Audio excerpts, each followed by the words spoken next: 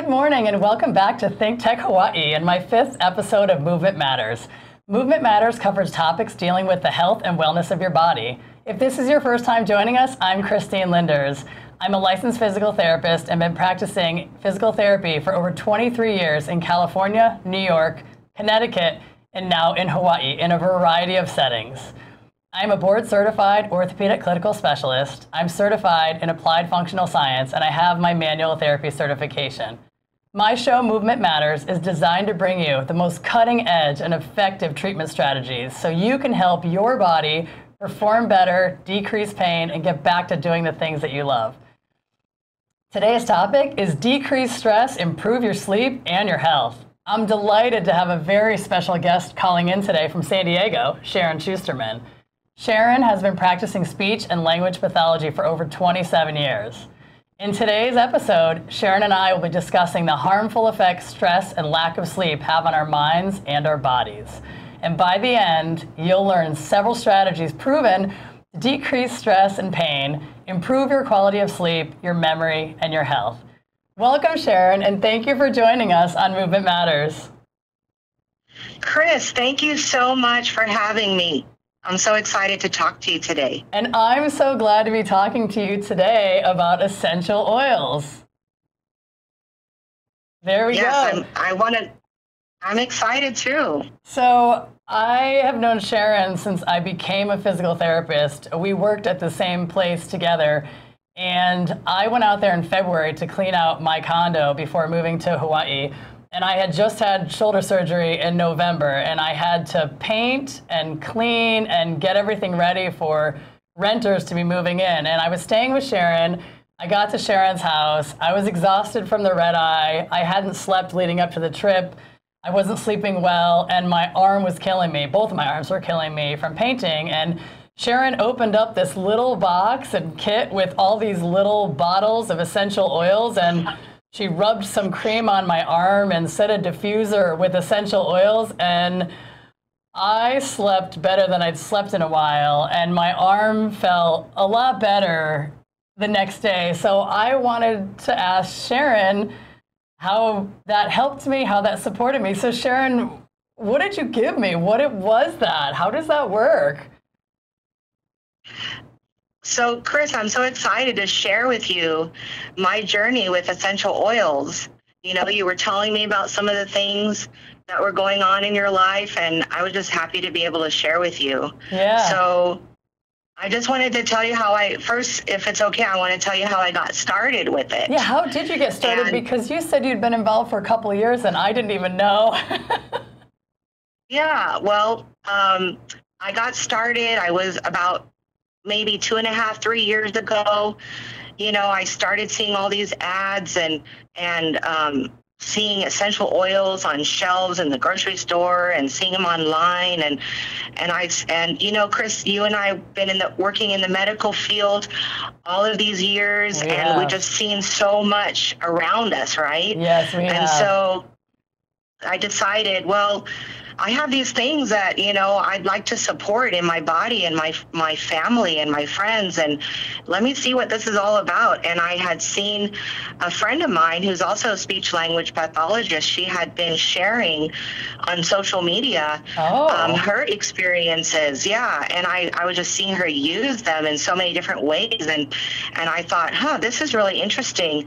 I I'm gonna reach out to her. So I did and it was great. I said you know I've got some things in my life life and she said hey let me let me tell you about it so you know we got talking and um, i found out that she uses um, essential oils from a company called young living oh and um, you know, again, in the medical field, Chris, we're all about like researching stuff and learning as much as we can, especially yes, we we're going to put it on our bodies. So, in my research, I found that this company has been around 26 years. Wow, that's a long which is time. huge. Yes, it is. Yeah, and and I said, you know, if I'm going to put this these oils, if I'm going to use them on my body um, or smell them, you know, in the uh, diffuser, I better know, you know, are they good quality? So I just want to let your listeners know that um, it is important to check on the quality. And the great thing about Young Living is that um, their process is so fantastic from the time that they plant the seeds. They have their own farms. Wow. Um, they're pre-invested in the whole process and, and how and you can even go i'm so excited one day to go onto one of their farms and actually see the process it's so cool well please then, let me know when you do because i want to take that trip with you it would be an, it would be a great fun trip and um, and then the process of how they bottle it. And then they have these outside companies that come in and test their purity and their quality. And if they don't like what they see young living will throw it out. And this is a third party independent testing. So that's incredible. you know after that research yeah after that research i said I think I'm going to, you know, try this one out. You, you know, you are getting what you want, and especially for what you're trying to use it for. I think that's fantastic, and I'm so grateful that there's people that out there like you who do the research and the extensive research because you've done all the work for all of us. I know there's a lot of different oils out there, and essential oils I've seen since I've been in Hawaii. A lot of people are into healthy living here, and they're using them. And I had those questions until I tried your products how how do you pick one? And you've just uh, answered that for me. So I guess I want to know now too. What did you put in those concoctions that you used on me? There was a couple things, and for someone like me too, who's new to it, how do you? Is there certain oils that maybe support different things, like some for supporting sleep, some for calming your mind, some for decreasing anxiety or getting rid of pain? That's what I want to know Yes, absolutely. That's the great thing that I've been learning, and I still have so much to learn. So, um, you know, as I, of course, you know, as I have have these things in my life, that's how I learn. You know, so I'm, yes. I saw, I listened to you, and and you know, most a lot of people have that trouble sleeping on occasion, you know, and um, I just started doing research. I found out that there are oils like cedarwood and oh. lavender oh. and and actually I, I meant to tell you so my husband has been having a lot of trouble sleeping and you know he was like what is this oil thing you're getting into and does it really help you know i, I got all kinds that. of right right so he'd been going for a long time trying different things and I just took lavender, and, and you know, a lot of people are familiar with lavender and heard about it. And I just gave him lavender, and he he puts it on the bottom of his feet. Um, I've, there's there's different places on your body I've found out that are great places to put the oils on. I think and, I tried uh, that. I think when you gave me some of those bottles to take home here to Hawaii, I was rubbing some in my hand before sleep, putting some on my neck, and just sniffing it a little bit under my nose because I didn't have one of those diffusers. So I didn't know that you could put it on your feet. I just was, I think, doing what maybe you showed me. I'm not sure. So that's good to know. Where, where else can you put it? Yeah, so there's what I've learned is there's three different ways that we can benefit from how the oils work and how they help and support us.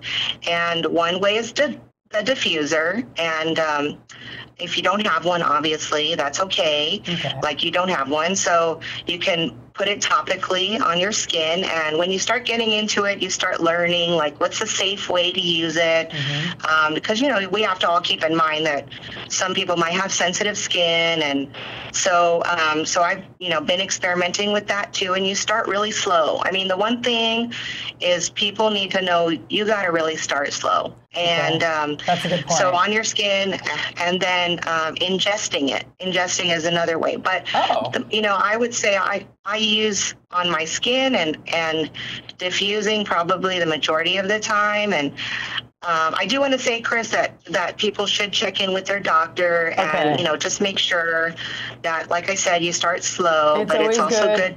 Yep, it's always good to check in with your doctor. That's right check in with your doctor. That's right. So anyway, yeah. So with my husband, he just loves his lavender, and if I if he runs out, boy, I know it. But um, yeah, just you know, through experimentation and what works for your body may not work for somebody else, and and it's just so much fun. You know, you get to smell these wonderful oils and try them out, and I think you know, I love it. I think that's great, and I love what you've given me. And since we're on the topic of sleep, and I know that Jay is happily sleeping like a baby thanks to his lavender, right?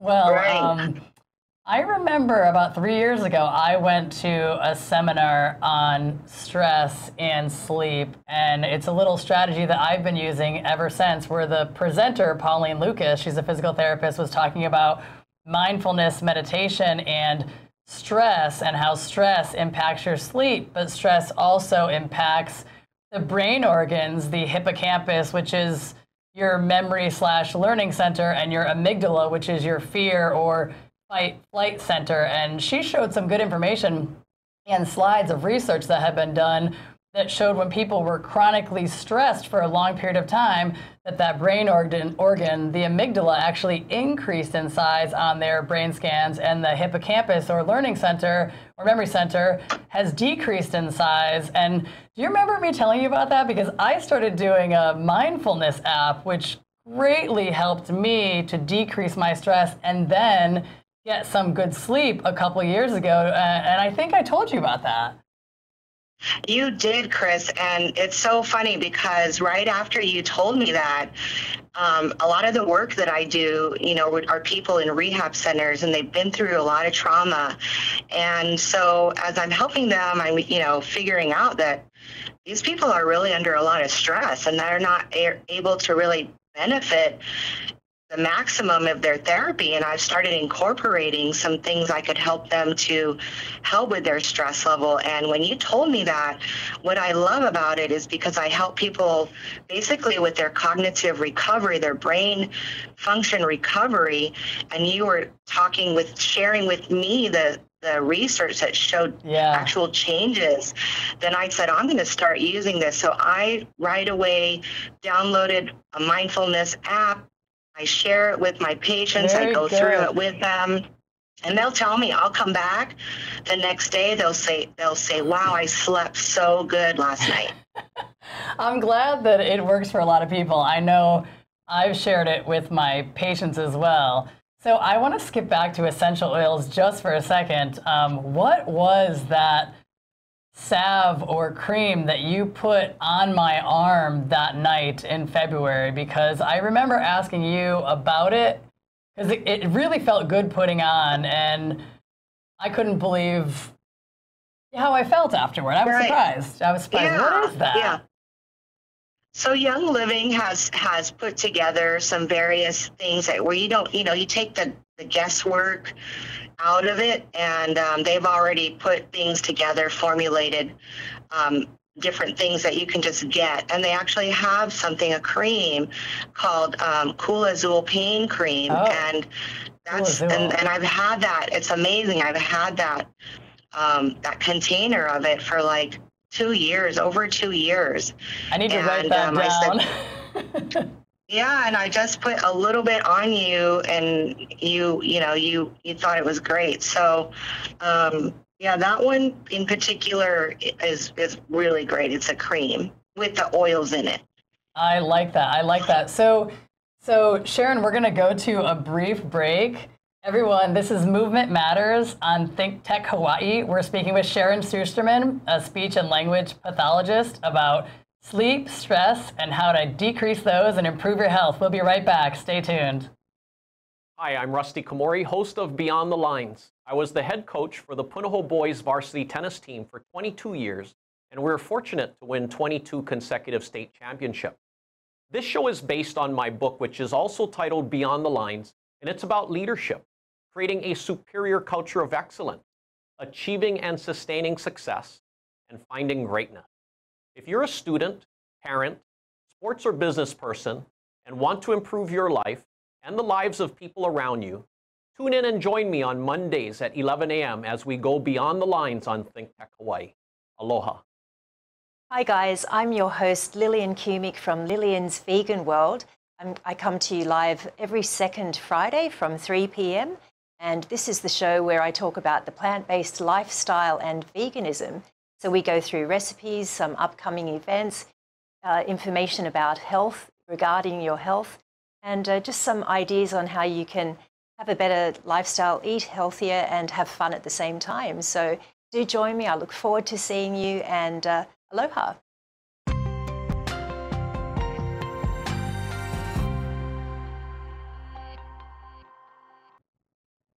Hi, we're back. This is Movement Matters. I'm Christine Lynders, and we're talking to very special guest Sharon Shusterman, who's talking about essential oils and how they can support your body to improve your sleep, decrease stress.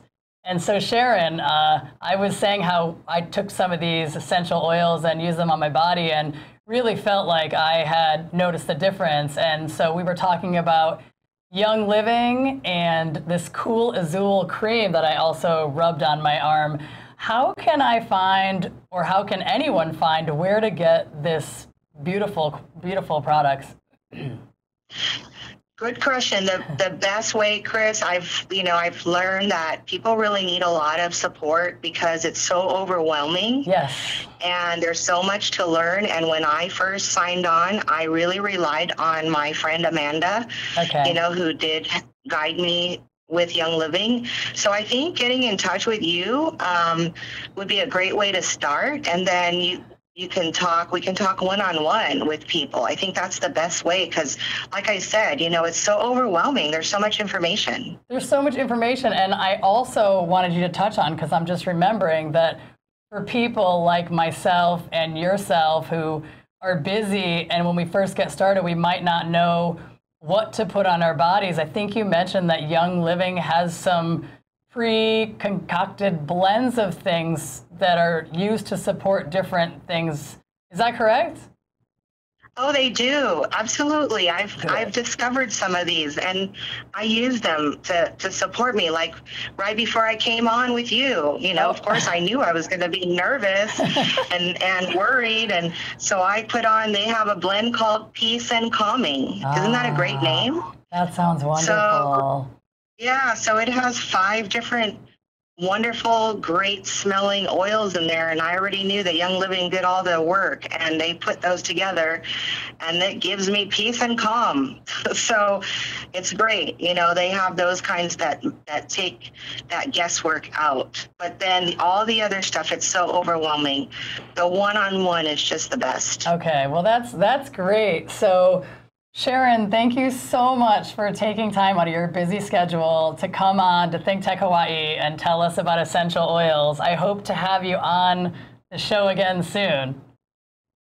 Yes, thank you so much, Chris. And I just want to say what a wonderful physical therapist you are, too. Oh. In case oh. your listeners don't already know that.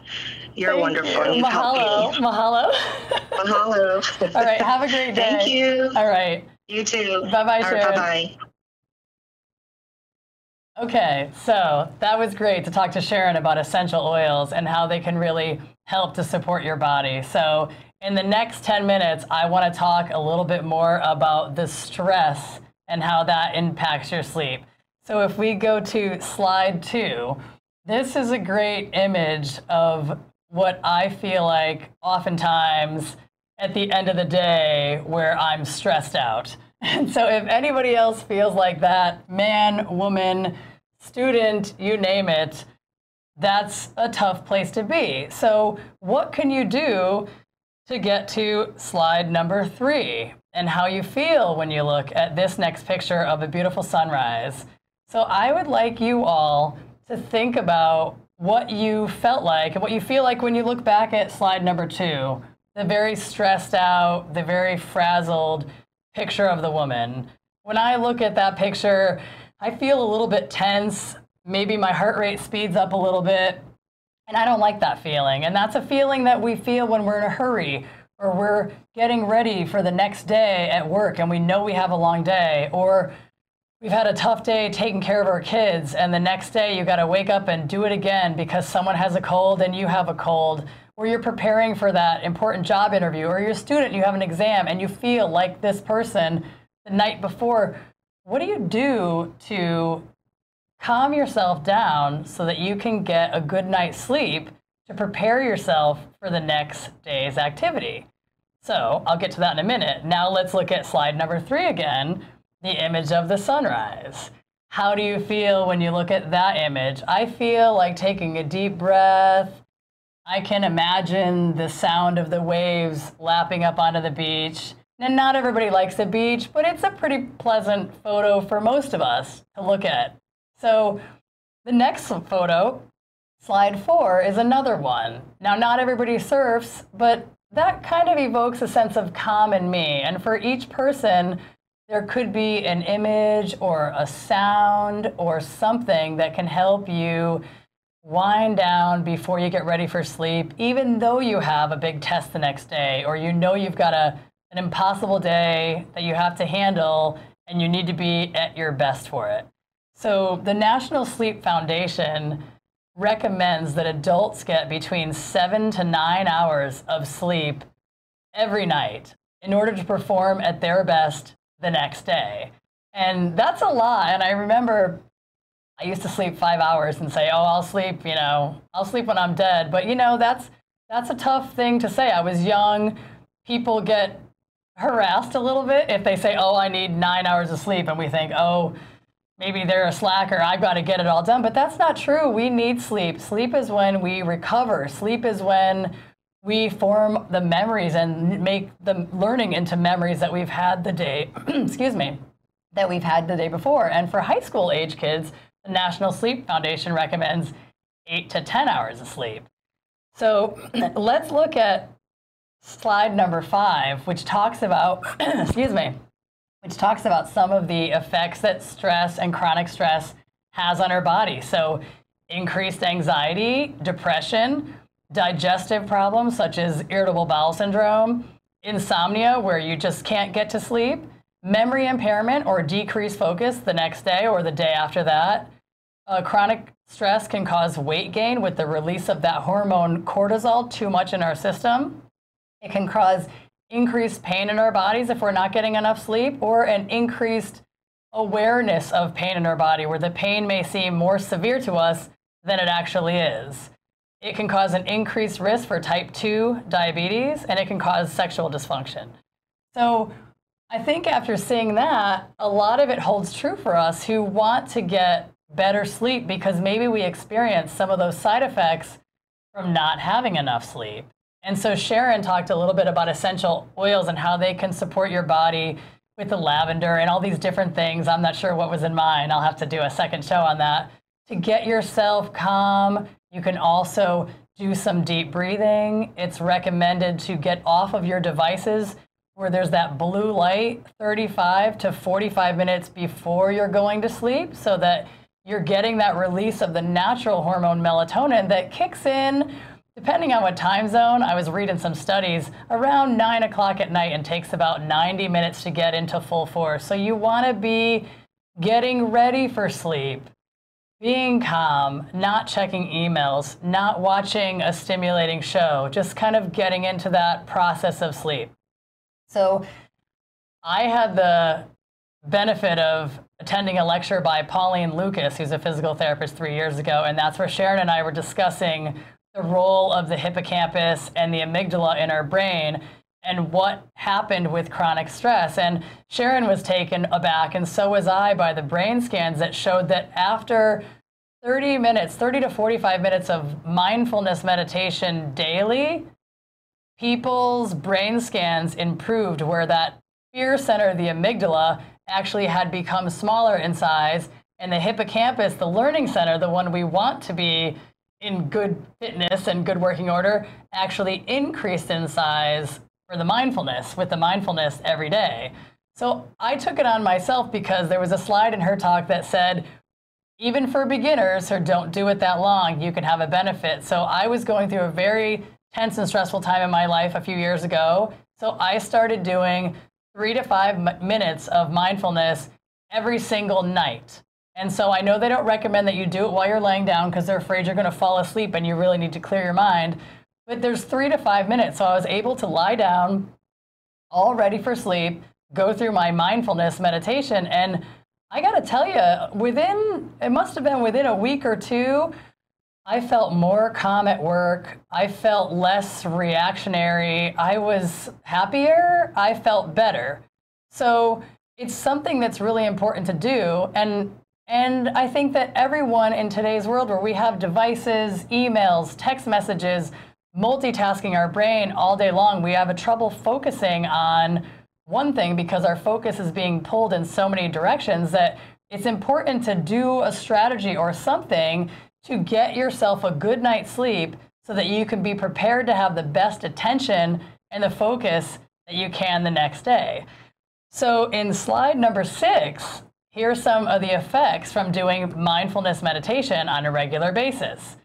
This was research again from the National Institute of Health. it reduced high blood pressure, it reduced the symptoms of irritable bowel syndrome.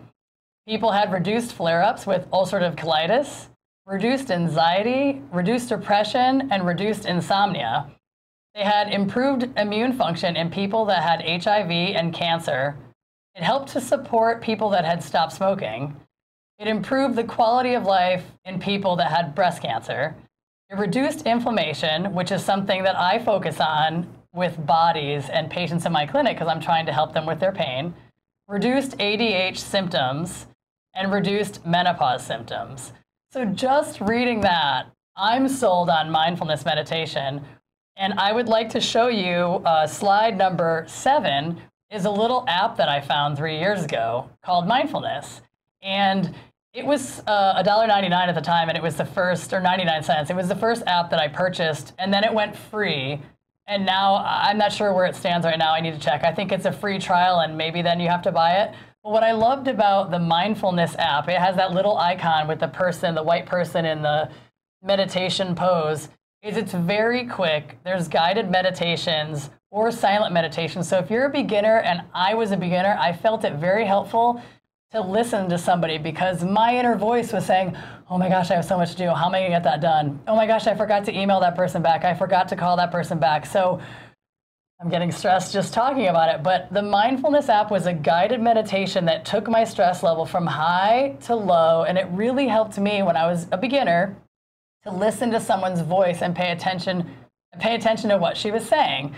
So if you get this app, there's many different ones. This is the one that I've used and recommended.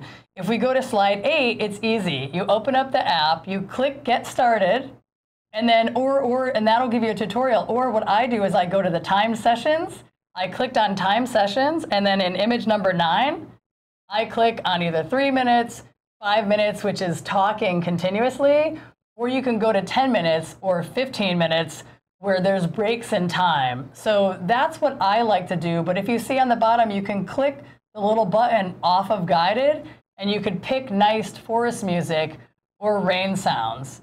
So to wrap it up, I just wanted to provide for you the strategies to help you decrease your stress, get a better night's sleep, and be in less pain. Thank you so much for joining Movement Matters, and thank you, Think Tech Hawaii, and all of our sponsors and donors for having us on today. Mahalo.